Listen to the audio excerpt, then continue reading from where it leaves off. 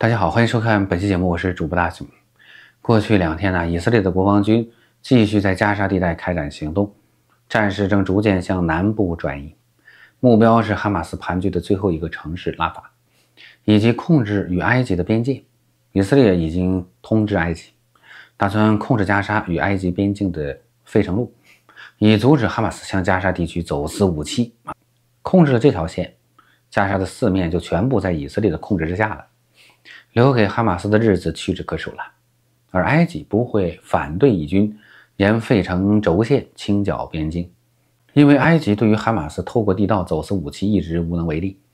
以色列已经通知加沙公民，由于战斗，中央高速公路无法通行，向南安全的道路啊是沿着海边的道路。需要说明的是，拉法口岸目前是人道物资的唯一通道，在以军封锁边境后。将继续允许救援物资通行。以色列国防部宣布，昨天共二百三十七辆人道主义援助卡车今天接受检查，并被转运到了加沙地带。这是自战争开始以来向加沙运送援助卡车数量最多的一天。到昨天为止，哈以战争已经打了整整一百天了。以实力而言，以色列完全不需要这么长的时间。一位以军士兵表示：“放开手打。”二十四小时就能够推平加沙。之所以打这么久啊，完全是因为我们生活在文明世界中，必须以现代文明的标准要求自己的军队。据悉，以色列国防军的空袭目标的最后确认权在军队聘请的国家法律师手里，律师不签字，谁也不敢动手。因此，在战争中啊，经常出现这样的情况：前线步兵发现了恐怖分子的藏身之地。请求空中火力打击，但指挥部需要律师们确认，而律师们需要考虑空袭目标的军事价值、可能带来的平民伤亡情况和国际法的相关条例。结果等签字往往要等几个小时，最终不仅会拖延总体进度，而且常常因为现场情况变化了，空袭已经失去了必要性，还得从头到来。军事上的终极决定权不在军人手里。不在政治家手里，而是在法律专家手里。这听起来有点匪夷所思啊！然而，在以色列那里却成了现实。我此前曾经说过啊，加沙战争应该是人类历史上第一场被各方用放大镜检视的啊战争。只要有半点行差踏错，就会被揪住不放。也因此啊，这是人类军事史上比较干净的战争之一。没错啊。的确有很多平民伤亡，但以加沙的人口密度和哈马斯与平民水乳交融的程度，如果以色列国防军放开手脚打，只怕死伤的平民早就是十万起步了。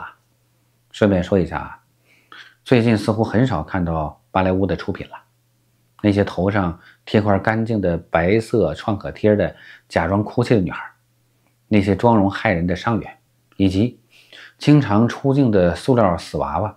都不见踪影了，看来哈马斯疲于奔命，已经没时间拍片了。昨天哈马斯发布了华裔人质以及另外两名人质的视频，并表示啊，明天我们会告诉你们啊他们的命运。目前还有一百三十二名人质在哈马斯的手里，被拘禁在暗无天日的地道里，不清楚状况如何。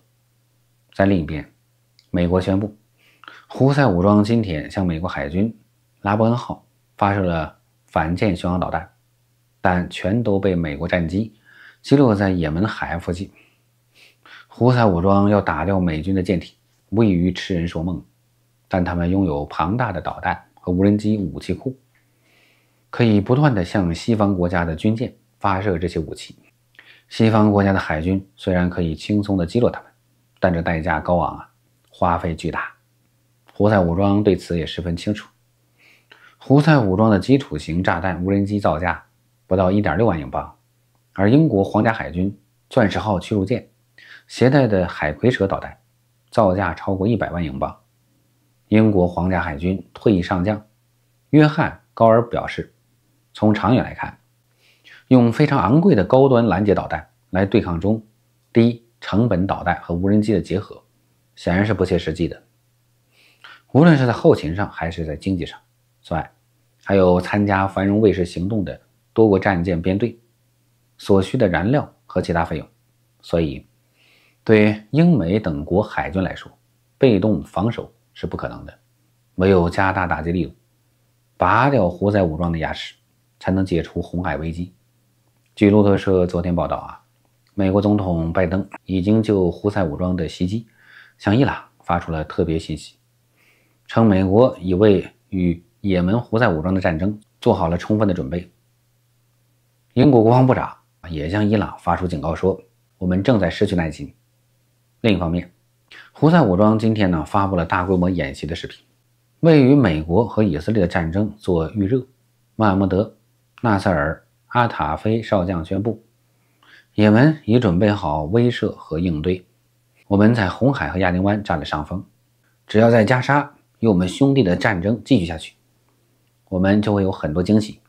以目前的情况来看，如果胡塞武装不收手，美国及其盟国很可能会狠狠地修理他们。有趣的是啊。之前鼓吹哈马斯的地道战的那些人呢，又开始吹捧胡塞武装和他们背后的伊朗了。这是怎么说呢？当年伊拉克能与伊朗打得有来有回，互殴十几年未落下风，但在美军手里只扛了不到一个月，实际地面战斗只打了四天多一点。当然，我相信呢，波斯人不会真正下场，因为他们不看简中网，不知道自己那么厉害呀。这两天。有趣的一个现象是在哈马斯和珍珠党低调以后，一夜之间，胡塞武装和伊朗开始高调出手。这意味着有一方着急了，但出手方式值得玩味。此前，伊斯兰国袭击伊朗将领苏莱曼尼的纪念活动，但伊朗却对叙利亚和伊拉克出手，是不是很有意思啊？先来看看哈马斯和真主党被以色列压制到已经开始低调了。一月十五日。以色列国防部长约夫·加兰特表示，加沙北部的地面攻势已经结束，加沙地带南部还有尼斯地区的攻势也将很快结束。以军第幺六二师在加沙北部开展收尾行动，第九十九师在加沙中部作战，第九十八师正在加沙南部作战，第三十六师撤出休整。以军正在进行部队轮换和修正。并准备持续进攻到二零二四年年底。詹特还强调啊，密集机动高强度阶段呢，将持续大约三个月。只有持续对哈马斯施加军事压力，才能达到新的人质协议。目前还有一百三十六名人质被哈马斯扣留，这是哈马斯最后的底牌呀。而哈马斯二号人物被以军斩首后。一些哈马斯高级领导人纷纷的逃离了黎巴嫩，贝鲁特前往叙利亚和土耳其。贝鲁特的哈马斯领导人加奇·哈马德则逃往了卡塔尔。哈马斯不仅在加沙难以立足，恐怕在真主党的地盘也不好过呀。在以色列连续打击真主党之后，真主党罕见的在被以军消灭一百七十多人的后啊，停止公布自己的损失人数。真主党继续使用火箭弹袭扰以色列，但很快。就遭到以色列空袭报复，基本上处于挨打的节奏。哈马斯真主党低调之后，胡塞武装和伊朗迫不及待的高调下场。一月十四日，在胡塞武装连续遭到美英打击后，胡塞武装将一艘美国驱逐舰发射一枚反舰巡航导弹，但被一架美国的战斗机击落。一月十五日，胡塞武装向亚丁东南约一百七十七公里处。一艘美国的商船“直布罗陀之鹰号”发射导弹，运载钢材的商船被击中并发生火灾，但该船呢仍然行驶，没有人员受伤。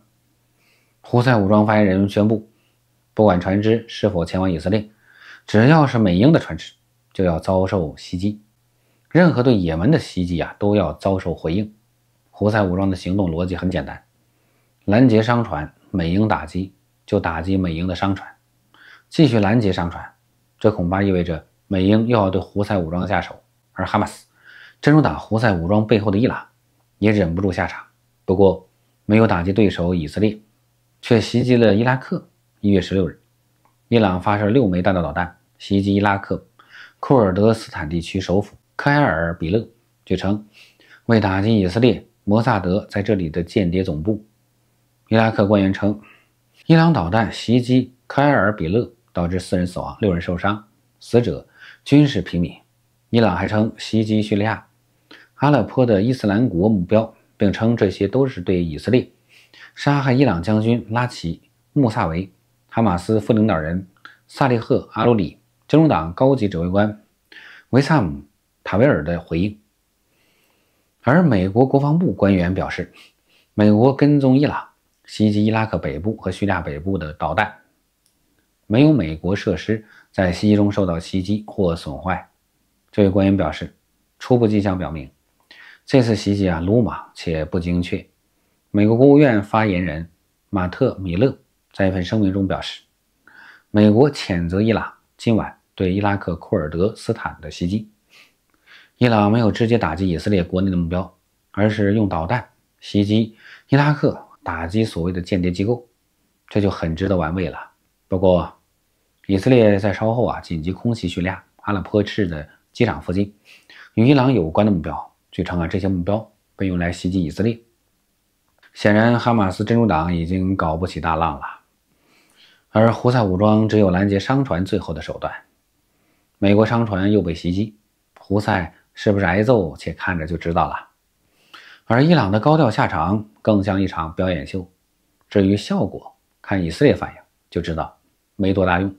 十月七日，袭击事件导致中东局势突变，受损最大的反而是伊朗，三个小弟都接连挨揍啊！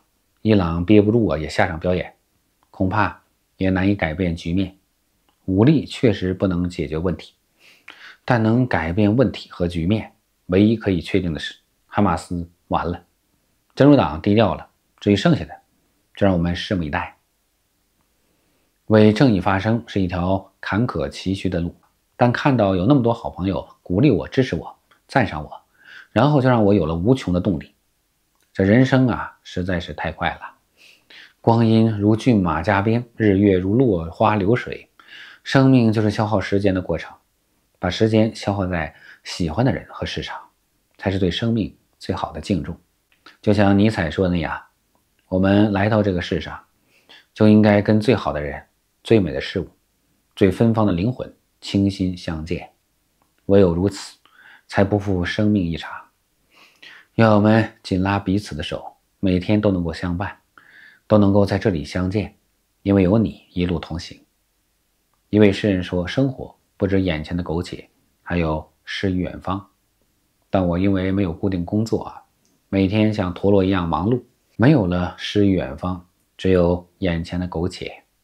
生活重压之下，发布视频成了我唯一的一个减压口，也是必须做的事儿。在我的字典里，没有休息日，没有节假日，所有的目标都是为了活着，拼了命的用尽全力活着，但收入不稳定。让妻儿啊没有了生活保障。这里也恳请朋友们啊，如果欣赏我视频的话，在力所能及的情况下，给我一点小小的赞赏和鼓励，谢谢大家了。我是大雄，一个坚持说真话的普通人。感谢一路有你。